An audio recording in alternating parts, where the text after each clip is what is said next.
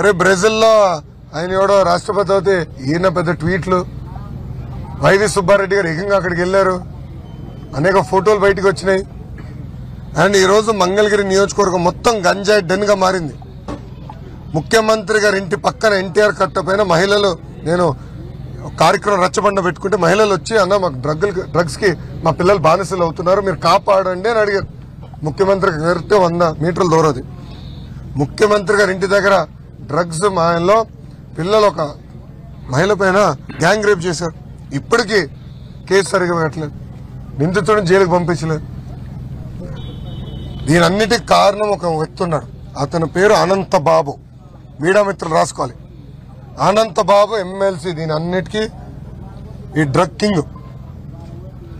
ఇది నేను ఎందుకు చెప్తున్నానంటే ట్రైబల్ ఏరియాలో మొత్తం పంట వేసేది వాళ్ళ మనుషులే. పోలీసు వాళ్ళు కూడా రాకుండా అడ్డు తిరిగేది వాళ్ళ మనుషులే.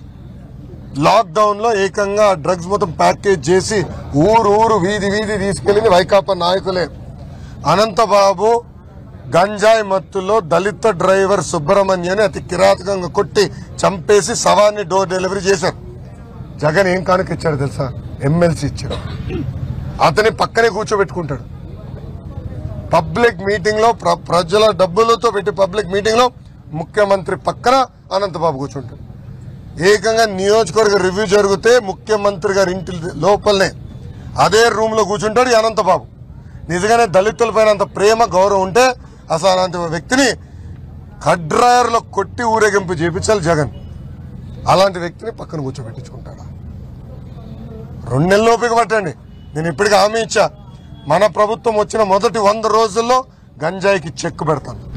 ఫుల్ స్టాప్ పెట్టి బాధ్యత మేము తీసుకుంటాం. దాని వెనకాల వైకాపా నాయకులే ఉన్నారు స్వామి. ఏమో మా కరకట్ట కమలాసన్ కూడా ఆయన డబ్బులు అందుతున్నాయేమో. అంటే మీకు తెలియదు ఇక్కడ ఎమ్మెల్యే ఆల రామకృష్ణారెడ్డి గారికి కరకట్ట కమలాసనం పేరు పెట్టిన. పాప ఆయన కూడా డబ్బులు వస్తున్నాయేమో. ఆయన కూడా మీద సమాధానం చెప్పాలా? మహిళలు ఈరోజు పెద్ద ఎత్తున బయటకు వచ్చి డ్రగ్స్ మీరు అరికట్టనని నన్ను అడుగుతున్నా. ఎమ్మెల్యే గారు మరి ఏం చేస్తున్నారండి? ఏం పీకాడు ఎమ్మెల్యే ఐదు సంవత్సరాలు? ఈరోజు గంజాయి డెన్గా మారిపోయింది మంగళగిరి. ముఖ్యమంత్రి గారు ఇంటి పక్కనే గంజాయి అమ్ముతున్నారు. ముఖ్యమంత్రి గారిని అడుగుతున్నా మీ కూతురుని ఇట్లనే గంజాయికి బానిసలు చేస్తే మీరు ఒప్పుకుంటారా? నేను చూశాను చంద్రగిరి నియోజకవర్గంలో ఒక తల్లి. ఆయన ఆమెకి ముగ్గురు కూతురు ఉన్నారు. పెద్ద కూతురిని గంజాయికి బానిసలు చేసి శారీరకంగా వాడుకున్నారు వైకాపా నాయకులు. నలభై ఐదు రోజులు పట్టింది ఆ తల్లికి తెలిసిందానికి పాపం. నన్ను వచ్చి సీఎంసీ వెల్లూరు తీసుకెళ్తాను కొంచెం మీరు ఒక మాట చెప్పండి మాట సహాయపడండి అని అడిగింది. ఆ రోజు ఇంకో మాట చెప్పింది. మీరు సాయం చేయకపోతే పెద్ద కూతురు నేను చంపేస్తాను. ఆమె చెప్పింది మా ఇంకొక ఇద్దరు కూతురు కాపాడడానికి పెద్ద కూతురు నేను చంపేస్తానని ఇదే కానీ జగన్ కూతురులు జరిగితే ఒప్పుకుంటాడైనా ఎంత అన్యాయం అండి? ఉడతా పంజాబ్ సినిమా చూసాం ఉడతా ఆంధ్రప్రదేశ్ ఈరోజు సినిమా కాదు రియల్ లైఫ్లో చూస్తున్నాం. అది ఈరోజు ఆంధ్ర రాష్ట్ర పరిస్థితి. నిన్న చంద్రబాబు నాయుడు గారి సమావేశం జరిగింది. ఎలక్షన్ కమిషన్ దగ్గర మేము పర్మిషన్ తీసుకుని పెట్టిన సభ అది.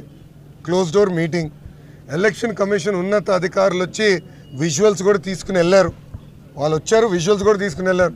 కానీ అక్కడ ఇంటెలిజెన్స్ ఆఫీసర్ వస్తాడు. అతనికి ఏం పని అండి పొలిటికల్ ఇంటెలిజెన్స్ ఆఫీసర్కి ఏం పని? అందుకే సిఐఎస్ఎల్ చీఫ్ కూడా పోతాడు పోవాలి. ఇంటెలిజెన్స్ చీఫ్ కూడా బర్తరఫ్ చేయాలి. దీనిపైన గట్టిగా తీసుకుంటాం సీరియస్గా తీసుకుంటాం. మేము ఈ ఇష్యూని వదిలిపెట్టదలుచుకున్నాం. నేను అసలు నార్మల్ ఫోన్ ఎవరికైనా కొడితే బీపీలో వస్తున్నాయి. దానికే నాకు డౌట్ ఉంది. ట్యాపింగ్ వీళ్ళు చేస్తున్నారు. తెలంగాణలో కూడా జరిగింది అనేది ఈరోజు బయటకు వచ్చింది కదా. అలానే ఇక్కడ కూడా చేస్తున్నారు. దాంట్లో ఎలాంటి సందేహం లేదు. కానీ ట్యాప్ చేసినా మేము చేసే తప్పులేం లేవు కదా. ఏముంటుంది దానికన్నా మేము ఏ అభ్యర్థిని పెట్టబోతున్నాం? ఇయే ఉంటే తప్ప ఎందుకు భయపడాలో మేము. కానీ వాస్తవాలు ప్రజల ముందర మేము పెడతాం. Hundred percent. పోలీస్ డిపార్ట్మెంట్ వాంటెడ్గా టార్గెట్ చేసి మమ్మల్ని ఇబ్బంది పెట్టాలి. హ్యూమిలేట్ చేయాలనేది వాళ్ళ ఆలోచనలో ఉన్నారు.